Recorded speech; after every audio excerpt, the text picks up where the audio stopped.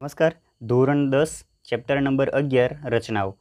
આ વિડીયોમાં આપણે ચેપ્ટર નંબર અગિયારની, એટલે તમારા પાઠ્યપુસ્તકમાં પેજ નંબર એકસો ને નેવ્યાસી ઉપર મિત્રો જે રચના આપી છે, રચનાના અગિયાર પોઈન્ટ એક, રેખાખંડનું આપેલા ગુણોત્તરમાં વિભાજન, એ બંને રીતથી આપણે દોરવાનો પ્રયત્ન કરીએ છીએ.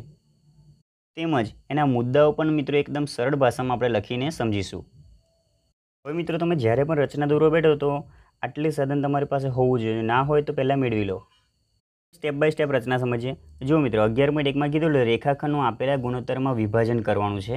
તો ઘણીવાર મિત્રો રેખાખંડના શબ્દો વાપર્યા હોય, રેખાખંડની જગ્યાએ તમને કીધું હોય કે કોઈ ચોક્કસ માપ આપી દીધેલું હોય. જેમ કે અહીંયા લખ્યું છે આપણે સમજવા માટે, આઠ પોઈન્ટ પાંચ સેન્ટીમીટરના રેખાખંડનું ત્રણના છેદમાં બે, એટલે કે ત્રણ દૃત્યાંશ ગુણોત્તરમાં વિભાજન કરો. જો મિત્રો, ગુણોત્તર એટલે આપેલા રેખાખંડના વિભાજન કરવાની મિત્રો બે પદ્ધતિ છે. એક તો એક જ કિરણ દ્વારા અને બીજું છે બે કિરણ દ્વારા. કેવી રીતે સમજીએ?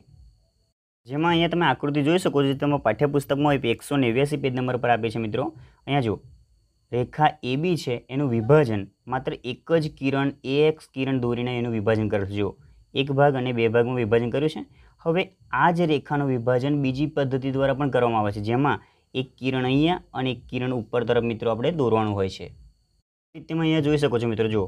એ બીનું એ જ રેખાખંડ છે, એ જ રચના છે, જેનું અહીંયા જુઓ. એક નીચે તરફ એ એક્સ કિરણની ડ્રો કર્યું છે અને બીજું ઉપર બી વાય કિરણ. એટલે કે બે કિરણ દ્વારા એનું વિભાજન મિત્રો અહીંયા કરી શકાય છે.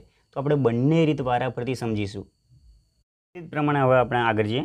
અહીંયા જો મિત્રો આપણને કીધું છે આઠ પોઈન્ટ પાંચ સેન્ટીમીટર. મિત્રો તમારી જે પાઠ્યપુસ્તક છે, એમાં તમને માપ નથી આપેલું તમે આશરે કોઈ પણ માપ લઈ શકો છો. પરંતુ અહીંયા જો મિત્રો આપણે સમજવા માટે માપ આપ્યું છે, કારણ કે પરીક્ષામાં આ રીતનો પણ દાખલો પૂછી શકે છે રચના. તમને મિત્રો માપ આપેલું હોય, તો આપણે માપ પ્રમાણે આપણે એક રેખાખંડની રચના અહીંયા કરીશું. હવે અહીંયા આપણે પહેલી રચ, એટલે કે પહેલી જે રીત છે, એ પ્રમાણે આગળ વધવાની. તો જો મિત્રો તમે જોયું છે કે પહેલી રીતમાં માત્ર ને માત્ર નીચે તરફ આપણે કિરણની રચના કરવાની છે. તો આપણે ઉપર તરફ બહુ વધારે જગ્યા છોડતા નથી. એટલે રેખાખંડ દોરીએ આપણે સાડા આઠ સેન્ટીમીટરનો, આઠ પોઈન્ટ પાંચ સેન્ટીમીટરનો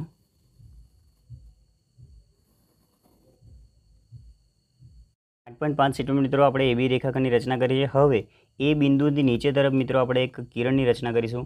મિત્રો અહીંયા ખૂણો કેટલો બનાવો તે મહત્ત્વનું નથી. કોઈ પણ માપનો તમે ખૂણાની રચના કરી શકો છો. ઓકે? હવે અહીંયા નામ આપી દેવાનું આપણે એક્સ. તો એ એક્સ કિરણની રચના કરી.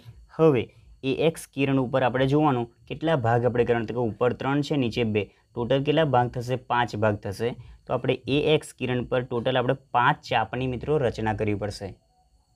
આપણે ચાપ દોરીશું. મિત્રો, ચાપ દોરી તો ખાસ ધ્યાન રાખવાની. પરિકરનો બંને ભાગ, બંને છેડાનું માપ કેવું એક્ઝેક્ટલી સમાન હોવું જોઈએ.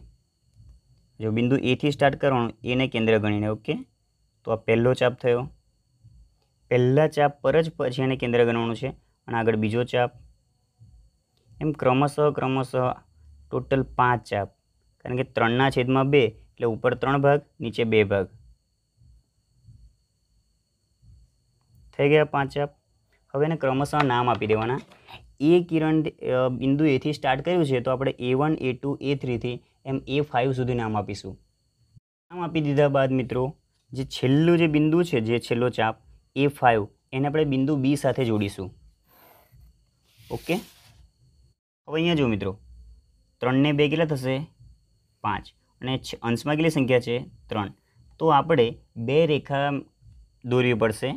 એક તો પાંચમા ચાપ પરથી જે અહીંયા આપણે ડ્રો કરી છે અને બીજી ત્રીજા નંબરના ચાપ પરથી, બરાબર? જેને અહીંયાથી આપણે કેન્દ્રબિંદુ ગણીને એ બી રેખાને છેદે એ રીતે, આ રેખાને સમાંતર રેખા બીજી એ થ્રીમાંથી પસાર કરી મિત્રો, આમ આપણે દોરવી પડશે. તો એ ખાસ અગત્યની વસ્તુ એ છે કે તમારે એ ફાઇવથી બી આ જે રેખા છે એને સમાંતર રેખા એ થ્રીથી અહીંયા સી બિંદુ નામ આપીશું. એટલે એ થ્રી સી કેવી રીતે દોરવી એ ખાસ શીખવાની વસ્તુ છે. જુઓ મિત્રો અનુકૂળ ત્રિજ્યા લઈ લેવાની પરિકરની મદદથી અને એ ફાઈવ ઉપરને કેન્દ્ર ગણીને આપણે ચાપ ધોરણ આ પ્રમાણે જુઓ. જોયું? એ જ રીતે એ થ્રીને કેન્દ્ર મિત્રો, માપ ના ખસવું જોઈએ. એ થ્રીને કેન્દ્ર ગણીને પણ આપણે ચાપ દોરીશું ઓકે? વેરી ઇમ્પોર્ટન્ટ વસ્તુ.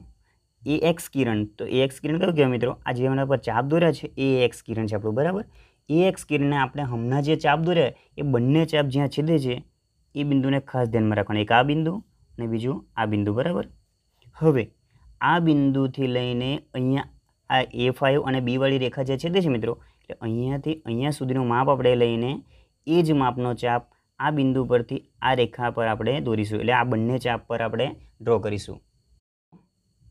એ એક્સ કિરણ ઉપર આપણે કેન્દ્ર લેવાનું છે અને ધ્યાનથી અહીંયા મિત્રો પરિકરની મદદથી આપણે માપ લેવાનું.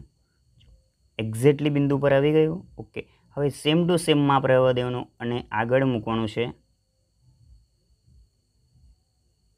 અને ત્યારબાદ બંને ચાપ જે એકબીજાને છેદે, એ પ્રમાણે આપણે બીજો ચાપની રચના કરવાની છે.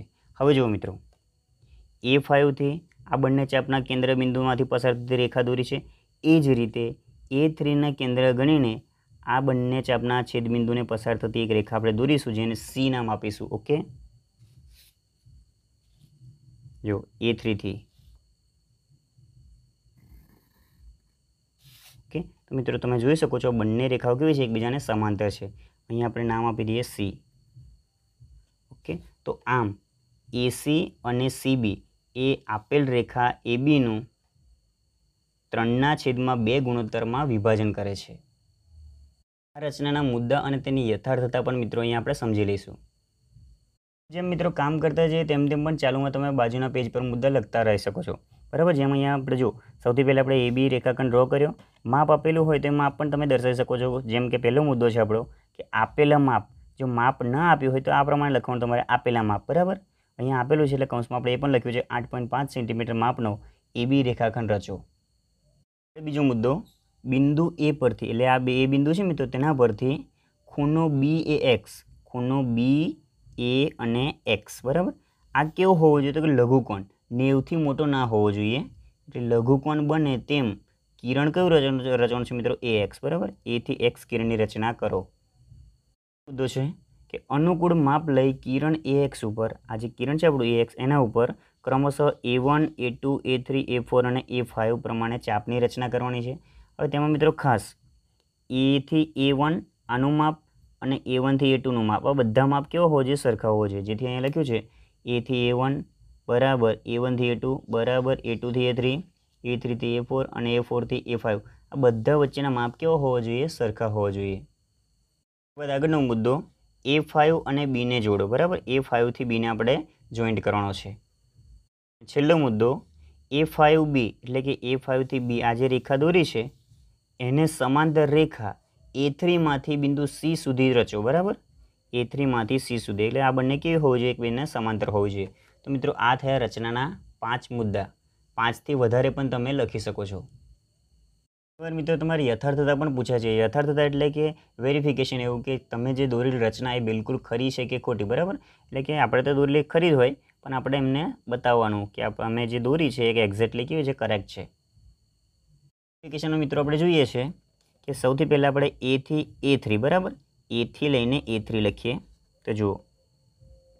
એથી એ થ્રી અને એના છેદમાં મિત્રો લખીશું એ થ્રીથી એ ફાઇવ કેમ આપણે એ બે પસંદ કર્યા? કારણ કે એ બંને પર જ આપણે રેખાઓ રચી છે. હવે જુઓ. એ થ્રી એથી એ થ્રીનું જેટલું અંતર હશે, એના જ પ્રમાણે એથી એસીનું અંતર હશે. મતલબ કે જો આ અંતર વધે તો મિત્રો આ અંતર પણ કેવું વધે? તો એના પરથી લખીએ આપણે એથી એ થ્રી અને એની સામેની રેખા છે એથી સી બરાબર? આ બંને કેવી છે? કે બેના સપ્રમાણ છે. એટલે કે આ વધે તો આ વધે અને આ ઘટે તો આ ઘટે.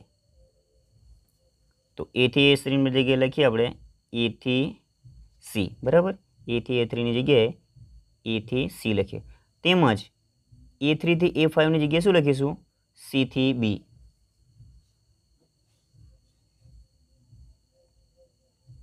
ઓકે? હવે તમે જોઈ શકો છો મિત્રો. એથી એ થ્રીનું અંતર કેટલું છે? તો એક, બે ને ત્રણ એકમ, બરાબર? તો આપણે અહીંયા લખીએ. એથી એ થ્રીનું અંતર કેટલું છે મિત્રો? ત્રણ એકમ.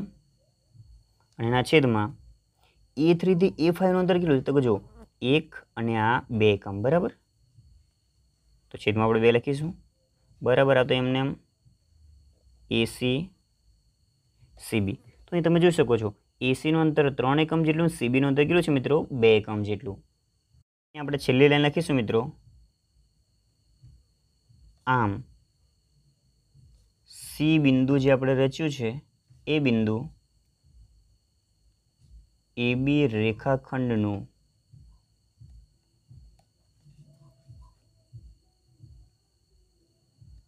ત્રણ જેમ બે ગુણોત્તરમાં વિભાજન કરે છે.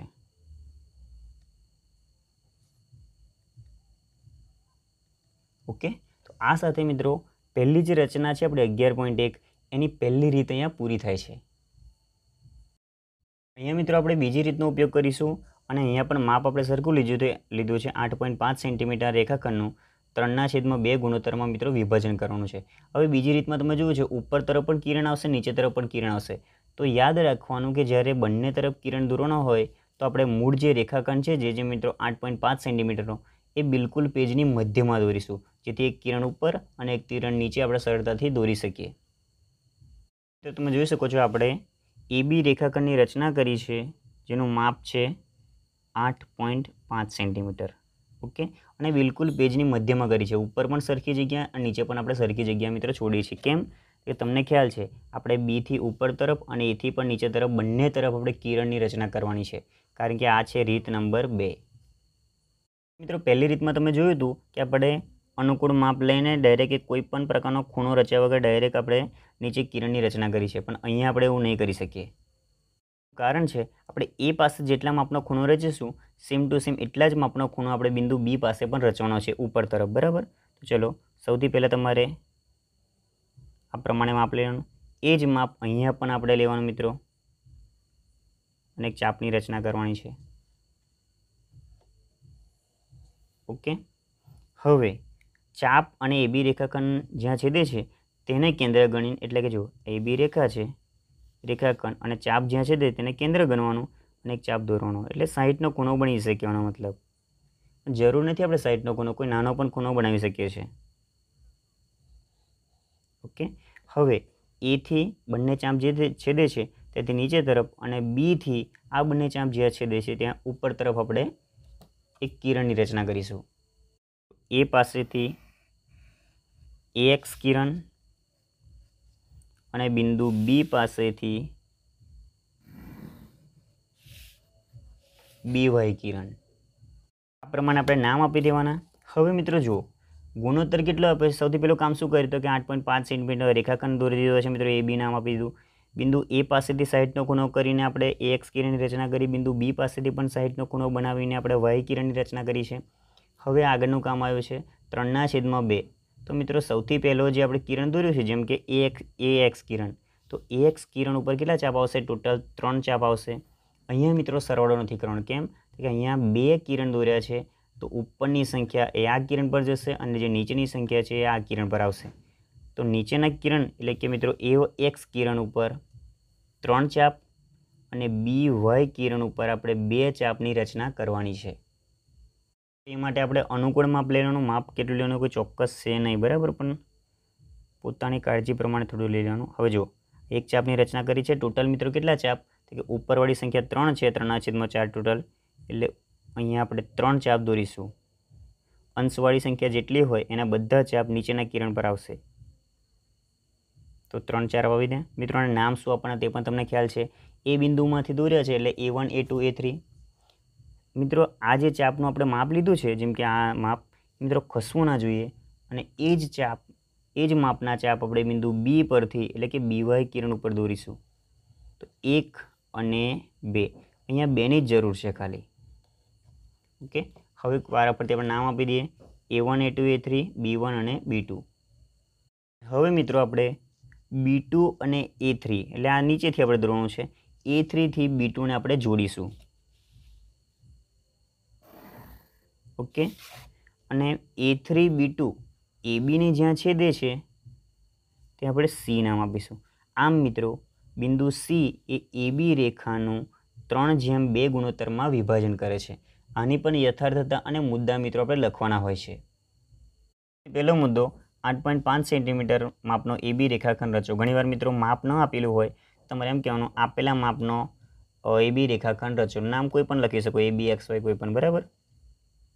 મુદ્દો છે, ખૂણો બી એ એક્સ બરાબર સાહીઠ અંશ થાય, એમ એ એક્સ કિરણ રચો. અહીં મિત્રો સાહીઠ અંશ ના હોય અને લઘુકોણ હોય તો પણ તમે લખી શકો છો. બરાબર? બી એ એક્સ એટલે આ જે ખૂણો રચ્યો છે, એ ખૂણો મિત્રો કેટલો થવો જોઈએ? સાહીઠ અંશ. અથવા એથી નાનો હશે તો પણ વાંધો નહીં આવે. નાઇન્ટીથી ઉપર નહીં જવાનું. આગળનો મુદ્દો એ બી વાયનો ખૂણો સાહીઠ અંશ. અહીં મિત્રો જો આ જેટલો ખૂણો હોય સેમ ટુ સેમ એક્ઝેક્ટલી એ જ એ જ માપનો ખૂણો તમારે અહીંયા પણ દોરવાનો હશે. હવે જો આ ખૂણા માપના કોઈ તફાવત આવ્યો, તો તમારું ચોક્કસ ત્યાં જે ગુણોત્તર માપ છે મિત્રો બદલાઈ જશે. એટલે ખાસ કાળજી રાખવાની, જે ખૂણો અહીંયા હોય એટલો જ ખૂણો તમારે અહીંયા દોરવાનો. એમ જો ના થાય કંઈ શક જેવું લાગે તમને, કંઈ પ્રોબ્લેમ જેવું, તો તમારે કોણ માપકની મદદથી માપી પણ શકો છો. ત્યારબાદનો મુદ્દો છે એ એક્સ કિરણ પર, એટલે કે આ કિરણ ઉપર A one A two A three પ્રમાણે ચાપ રચો. તેનાથી આગળનો મુદ્દો બીવાય કિરણ ઉપર બી વન અને બી ટુ ચાપ રચો.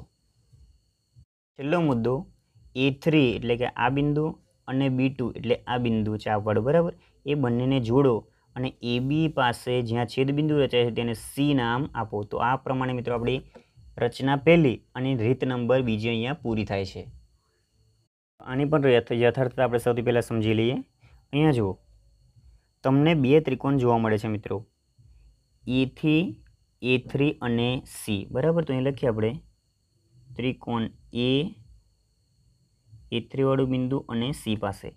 એ એ થ્રી અને સી અને બીજો ત્રિકોણ બી બી ટુ અને સી ત્રિકોણ બી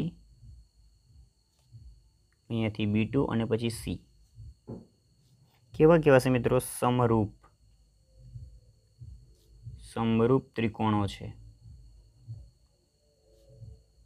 સમરૂપ કોને કહેવાય? કે સમરૂપ એવું કે બાજુના પ્રમાણ માપ સરખા, માપ એક્ઝેક્ટલી સરખા નહીં. તમે જોઈ શકો છો, એક, બે ને ત્રણ સેન્ટીમીટર આશરે ગણીએ ત્રણ થાય અને આ તરફનું એક અને બે. તો આકૃતિઓ સમાન છે, દેખાવે સરખી છે, પણ એમનું માપ કેવું છે? જુદું જુદું છે. જો આ માપ વધે તો આ માપ પણ વધે અને આ માપ ઘટે તો આ માપ પણ ઘટે. એટલે પ્રમાણ માપ છે, બરાબર? તો તેના પરથી લખીએ આપણે. એ થ્રી એથી એ થ્રી જેનું પ્રમાણ માપ ત્રણ છે, એના છેદમાં લખીશું બીથી બી ટુ એનું પ્રમાણમાપ મિત્રો બે થશે. ઓકે? અને એથી એ થ્રીને સમરૂપ એવી બાજુ કઈ છે મિત્રો? પ્રમાણસર માપ. તો કે જો આ બાજુ અને આ બાજુ કેવી છે પ્રમાણસર? તે જ રીતે આ બાજુ અને આ બાજુ કેવી છે પ્રમાણસર છે? તો એથી એ થ્રીની જગ્યાએ એથી સી આપણે લખીશું. ઓકે? અને આ તરફ સીથી બી ઓકે? હવે એથી એ થ્રીનું મિત્રો માપ કેટલું છે? જોયું, જુઓ તો આકૃતિમાં. એક એકમ, બે એકમ ને આ ત્રણ એકમ. તો ત્રણ લખીશું અહીંયા.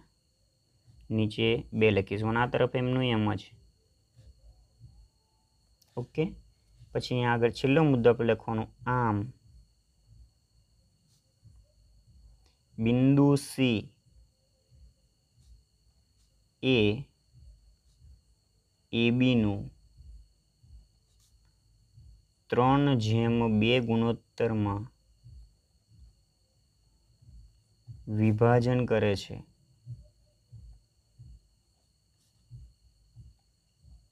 ઓકે? તો મિત્રો, આ સાથે આપણી બંને રીત પૂરી થઈ ગઈ છે અને વારંવાર પરીક્ષામાં પૂછે તો ખાસ કાળજી રાખીને તમે તૈયાર કરી દેજો.